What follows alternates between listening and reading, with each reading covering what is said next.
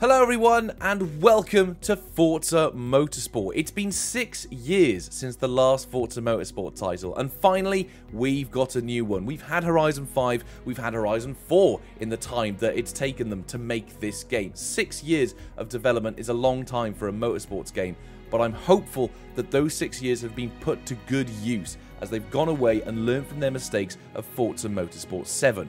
In my opinion, I didn't really enjoy Forza Motorsport 7. It felt like a really weird mishmash of a game with loads of features that were sort of half-baked and not fully cooked, and hopefully this game has rectified those problems. So in this video, we're going to do a little bit of a deep dive, my first impressions of the game, show you guys everything that Forza Motorsport has to offer, and basically see if this is something that would interest you um, or not. So let's jump into it. And without further ado, we're going to have a look at the career mode.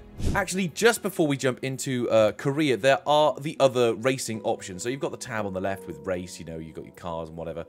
You've got career, multiplayer, free play, rivals, and private multiplayer. So all sort of standard modes that you would expect to see in a Forza Motorsport game at launch. I will go into more detail on featured multiplayer because that has been completely revamped, uh, which I'm very happy to see. So first things first, you still have your sort of standard playlist of events. You still have like five or six tracks that you have to do in order to win the championship, much like most motorsport games have been in the past.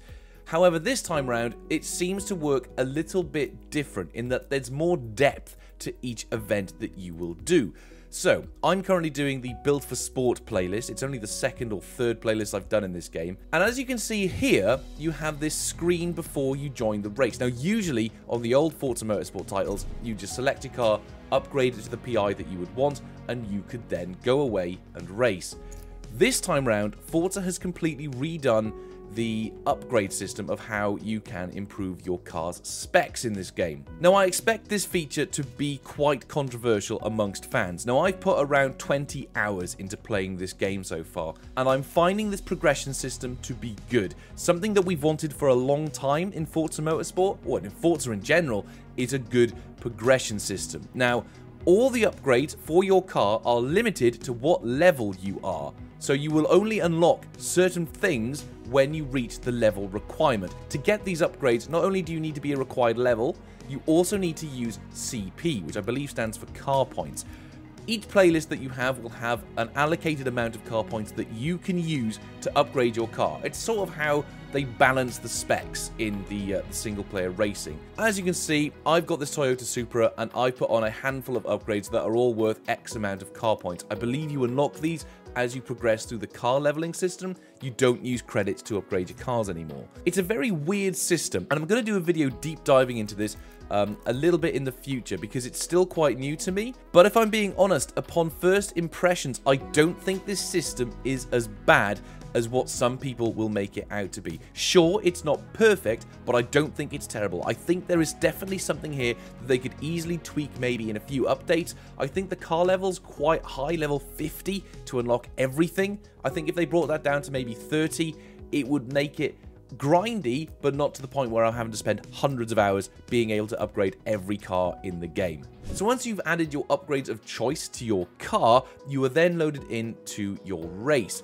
Now, where this differs from previous Forza Motorsport titles is that you don't just go straight into the race. This time, you have the ability to actually practice on the circuit and actually learn the layout and configuration of the course. So as practice sessions go, it's not as in-depth or as tedious as the Formula One games, I would say. You don't have to do tyre simulations, you don't have to do lap time simulations as such, you don't have to do qualifying, whatever. All you have to do is complete a lap time and complete a certain number of laps to receive a bonus payout for your race. I don't mind this, personally. I don't think this is a bad feature. It's quite nice, especially for some of the newer tracks on this game, for me to sort of pop in, and sort of learn the configurations and layouts of these tracks and see how my car handles around them. Another thing that they've added finally into single player are penalty systems. This was something that a lot of people I think wanted for multiplayer, but they've also added this feature into single player as well. So once you complete the required practice laps or bonus lap time, you are then loaded into what you would expect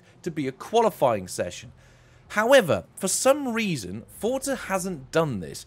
This is probably one of my first major gripes with the game. There's no qualifying in single player, as far as I'm aware. I've only done about three or four campaign events as of recording this video, and not once have I done a qualifying session. Instead, you are greeted with this screen where you get to choose where you start your race. Now, I get it from a gameplay mechanic point of view, but I do feel like it's a bit of a letdown to not have qualifying in single player. If anything, I'd rather have qualifying than practice, because at least you could do the practice whilst you're qualifying. Or you could adapt what they do in the uh, multiplayer lobbies, which is you have an allocated amount of practice time, and within that time, you then have to set three qualifying laps. That feature I love in multiplayer, and I think it's a bit of a shame that they've not added it into single player, or at least have the option to qualify or choose where you start. At least give us some options rather than giving us just this one. Anyway, Apart from this, there's also the new difficulty and rule set bonuses that you can get too. I've set my Drivatar difficulty to 6. I feel like that's quite a nice balance for me to start at the back of the grid and work my way to the front. I could tweak it to 7, but then it gets... I find that the AI who start at the front just literally just fly away into the lead. Proper Max Verstappen, you know? Um, and then the rule set bonus, which I really like. I'm actually playing this game with simulated damage, fuel, and tyres. I find that to be the most um, entertaining because it makes me, well, it forces me as a driver to not go ploughing into a corner and crashing into the AI. I do have to respect my car in some way, shape, or form. So I like that rule set, but sport rules are also good as well. So once you've chosen your difficulty and selected your grid position on the grid, um, you then have the option to choose what tyres and how much fuel you'd like to have in the car. Now, my Toyota Supra here, I haven't got race tyres on it yet, so I have uh, the locked street tyre compound added to my car. However, I can take some fuel out or add fuel into my vehicle if I so wish. So once you've completed that as well, it's then pretty much just business as usual. It's just sort of standard Forza racing experience. I should stress these are quite early on races in the game, so I don't think pit stops and, and sort of refueling um, has been added to these races, but I imagine as you progress through the campaign, the races get longer you know, your tyres will wear down, you'll need to refuel. So those sort of strategic plays will come into uh, will come into play uh, later on in the career. But as you can see here, I'm racing with 23 different drivers, and the AI I find to be really weird. The mid-pack seem to be proper, like, grade 5, crayons up their nose level of intelligence driving ability. But then the front seven cars seem to be a little bit more competitive. The main criticism I've had so far is that I find that the AI just brake on the apex randomly with no warning or point or reason whatsoever. So I've done a few races around Silverstone and they just seem to brake all of a sudden and I don't know why. Um, but the front runners seem to be quite competitive. They really have improved the AI on this game. Is it the best AI I've ever raced? Probably not. Is it more competitive than it has been in previous Forza titles? Yes, 100% yes. So it is nice to see that they have gone away and they have tweaked that. But that's pretty much it in terms of what there is to see throughout the career mode. You get penalties, as I mentioned, if you cut the corner, if you smash into someone's car, it's going to penalise you too. Overall campaign, standard. It's, it's nice to see these new features that they've added with pit stops and such. Um, and throughout the course of this game, because it's effectively going to be a live service going forward, they're going to add more career mode events and races in the future. So once you complete your race, you get your standard, you know, leaderboards of what the championship standings are, what your fastest lap times were, did you get any penalties. You also get these nice new little cutscenes which show your cars um, on like a podium place, and then it's got your drivers on the podium too. You can once again customize how your driver looks in this game, However, the feature isn't as in-depth as it is in, let's say, something like Gran Turismo, but thankfully they haven't got those stupid, horrendous cosmetics that they had in Forza Motorsport 7. They seem to have toned down on that stupidity, which I am grateful for. So there we go. Once you complete your race, you get your credits, you get your driver XP, and you then unlock stuff for your car, because obviously you've just been racing in it, and you get rewards as well. So that's very nice. I really enjoy that. So next, we're going to jump into the cars of Forza Motorsport. Now, I am going to have a full car list video coming out today, so make sure to subscribe so that you don't miss that. But I just want to show you guys the um, the categories of cars that are in this game, the divisions, um, because they have seemed to have cut all of the fat and the silly vehicles that Forza Motorsport 7 seem to have, like the Ariel Nomad and the Razor and the pickup trucks, all those sort of weird vehicles, I'm glad to see that they've finally gotten rid of those because it just felt like they ported them from Horizon 4 into Motorsport just so that they could say, oh, we've got 700, 800 new cars in the Forza Motorsport franchise. And it didn't really work because what I want in Forza Motorsport at least are proper race cars or even just road cars that I could upgrade to be good track day monsters. Now, there are two sides to this argument. One is they've finally gotten rid of all those stupid vehicles and they've trimmed the fat to, you know, give us better racing cars. But on the flip side, the funny vehicles are what originally made Forza Motorsport quite fun and quirky, you know, like the Toyota Prius um, and the smart car. So I can see an argument for both. But the SUVs and the off-road vehicles I think were just stupid, so I'm kind of glad to see them gone. In terms of the cars that they have added to this game, they seem to have still got models from 2013 and they've not updated to the newer ones. The one that springs to mind is the uh, the A45 AMG. This car's had a facelift and I think two new versions of it since 2013, but yet we've still got the 2013 variant in this game.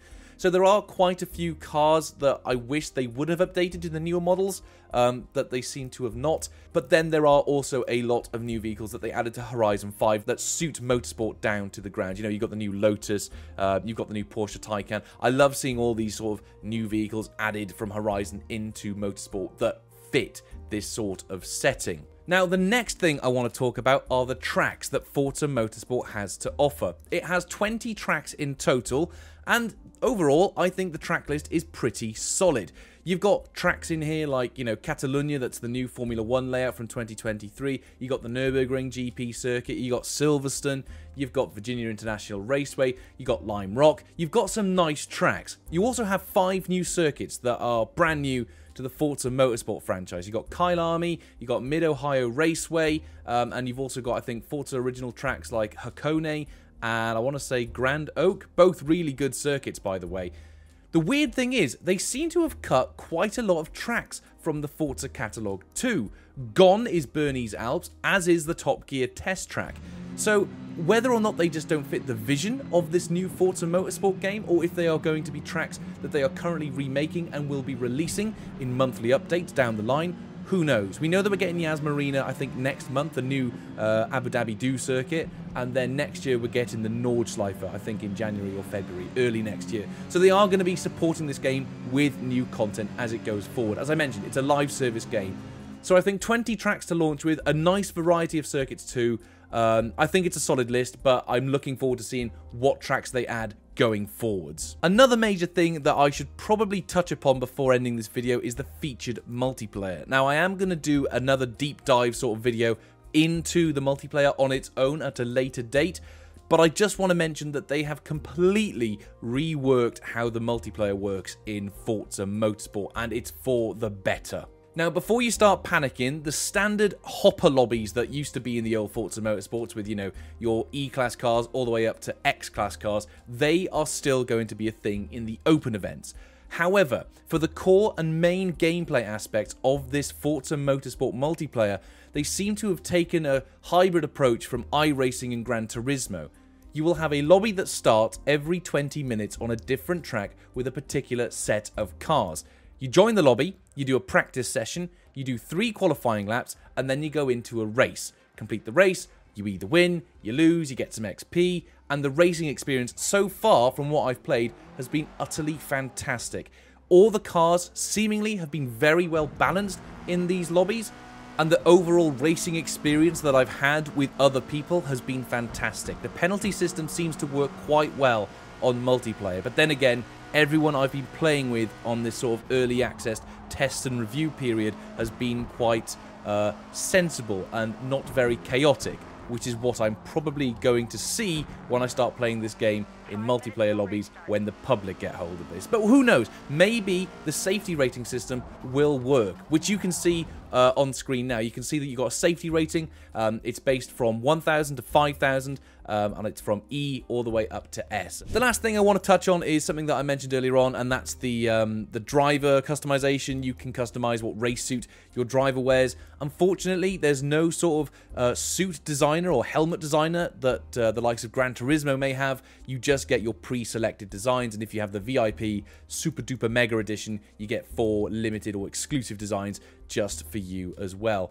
But apart from that, that's pretty much everything I can think of to talk about in this Forza deep dive first impressions video. Overall, I'd say this is a good reboot for the Forza Motorsport franchise. I think it needed it in hindsight. They definitely needed to sort of take a step back, look at the franchise, and sort of reconfigure what Forza Motorsport actually was. Because it sort of had a weird transitional period from Forza Motorsport 4 to Motorsport 5. A lot of people like the sort of fun and sort of arcadey game modes that you had in like Motorsport 3, Motorsport 4, like, you know, cat and mouse, car football and all that good stuff. And then to just completely gut that with Forza Motorsport 5 felt weird. It, it, did feel like a step backwards, even though graphically it was very pretty. This now is a reboot for the franchise. It's a live service game, which I'm hoping will be for the better. Um, and we're only going to see, we're only going to see how this game progresses as the months go by. So thank you very much for watching this video. Make sure to leave a like on the video and subscribe to the channel for plenty of Forza Motorsport and maybe Horizon content coming out in the future. Leave a comment down below as well. I'm curious to see and read what you guys think of this game so far. What are your first impressions from just seeing this gameplay here? And once the game comes out, I'm very curious to see what you guys think of it too. And maybe we'll do some live streams and open lobbies with some of you lovely people. But thank you very much for watching. I'll see you guys in the next video. But until then, goodbye.